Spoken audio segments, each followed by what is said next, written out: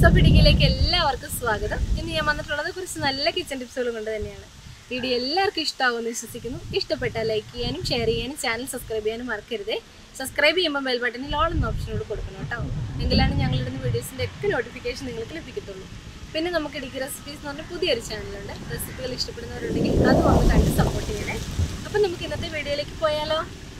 Hi friends ഇന്നത്തെ video നമുക്ക് വളരെയധികം യൂസ്ഫുൾ ആയിട്ടുള്ളൊരു കിച്ചൺ ടിപ്സ് തന്നെയാണ്. മല്ലിയിലയും പുതിനയിലയും അതുപോലെ കറിവേപ്പിലയൊക്കെ എങ്ങനെ സ്റ്റോർ ചെയ്യുക എന്നുള്ളതാണ് കേട്ടോ.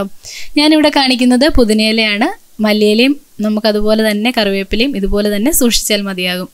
അപ്പോൾ പുതിനയില ദാ ഇതുപോലെയാണല്ലോ അല്ലേ നമ്മൾ കടയിൽ നിന്ന് വാങ്ങിക്കുമ്പോൾ അറിയാമല്ലോ നല്ല ഫ്രഷ്നെസ് ആയിട്ടുള്ള മല്ലിയില അല്ലെങ്കിൽ പുതിനയിലയൊക്കെ തന്നെ തിരഞ്ഞെടുക്കാൻ ശ്രദ്ധിക്കുക. കാരണം നമുക്ക് വാടി കിട്ടിയിരിക്കുന്നത് സൂക്ഷിക്കുമ്പോഴും കുറച്ച് വാടി പോകാൻ ചാൻസ് ഉണ്ട് കേട്ടോ. അപ്പോൾ വാങ്ങിക്കുന്ന സമയത്ത് മല്ലിയില നല്ല നല്ല ഫ്രഷ് ആയിട്ടുള്ള അല്ലെങ്കിൽ പുതിനയില നല്ല ഫ്രഷ് ആയിട്ടുള്ളത് തന്നെ വാങ്ങിക്കാനായിട്ട് ശ്രദ്ധിക്കുക. ഇനി നമുക്ക് അതിന്റെ തണ്ടൊന്ന് മുറിച്ച് കൊടുക്കാം. അതിനുശേഷം ആ തണ്ട് ഇതാ ഇതുപോലെ ഒരു ഗ്ലാസ് എടുത്ത് കുറച്ച് വെള്ളം ഒഴിച്ചതിന് ശേഷം അതിനകത്ത് ഇങ്ങനെ ഒന്ന് മുക്കി വെക്കുവാണെങ്കിൽ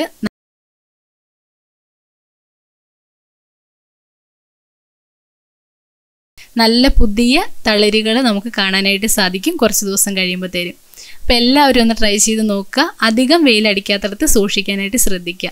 എന്നാൽ സൂര്യപ്രകാശം കിട്ടുകയും ചെയ്യണം. ആ ഒരു സ്ഥലത്ത് വേണം കേട്ടോ ഇത് സൂക്ഷിക്കാനായിട്ട്.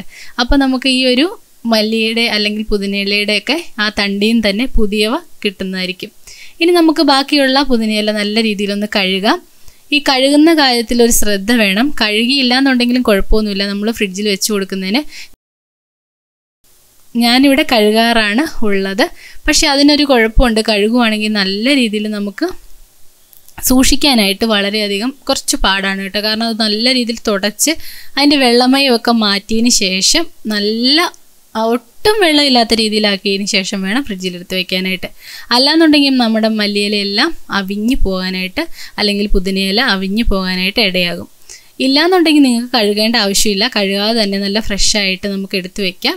എന്നിട്ട് നമ്മൾ ഉപയോഗിക്കാൻ നേരത്തും കഴുകി ഉപയോഗിക്കാം കേട്ടോ. അപ്പം ഞാനിവിടെ നല്ല വൃത്തിയായിട്ട് കഴുകിയിട്ടുണ്ട്. ഇനി ഇതിന്റെ വെള്ളമയം ഒട്ടുമില്ലാതെ നല്ലൊരു ടവൽ വെച്ച് തുടച്ചു കൊടുക്കുക. ഈർപ്പം ഇല്ലാത്ത സ്ഥലത്ത് കുറച്ച് നേരം സൂക്ഷിക്കുക. അതിന് അതിനുശേഷം മാത്രമാണ് നമുക്ക് സ്റ്റോർ ചെയ്യാൻ പാടുള്ളൂ.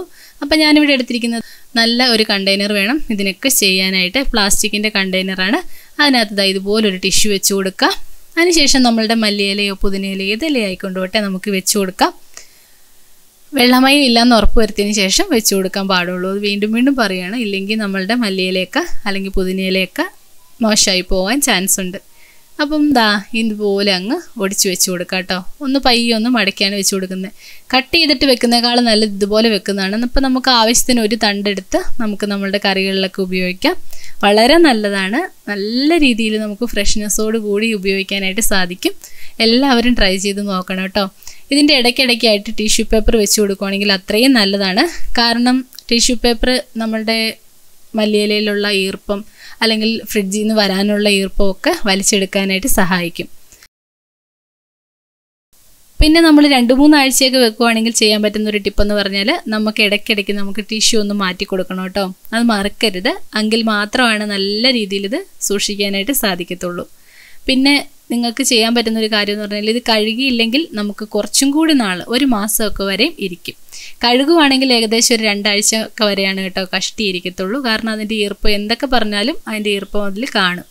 അപ്പോൾ കഴുകാതെ സൂക്ഷിക്കുവാണെങ്കിൽ പിന്നീട് എടുത്ത് കഴുകി നമുക്ക് കറികളിലൊക്കെ ഇട്ട് നല്ല രീതിയിൽ നമുക്ക് രുചികരമായ ഹെൽത്തി ആയിട്ടുള്ള ഭക്ഷണമൊക്കെ ഉണ്ടാക്കി കഴിക്കാം.